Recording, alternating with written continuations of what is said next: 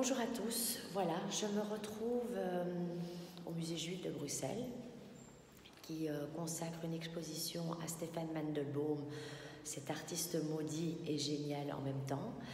Euh, comme vous avez pu le voir récemment, j'avais consacré une critique littéraire sur mon blog lesmotsdanouk.com au dernier livre que Gilles Seban a écrit sur la vie de Stéphane Mandelbaum.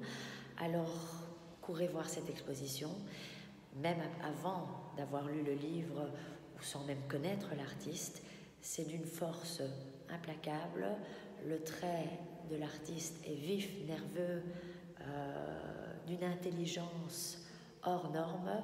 Les dessins vous prennent à la gorge tant ils sont forts. Euh, allez voir très très vite cette exposition et nous on se retrouve très bientôt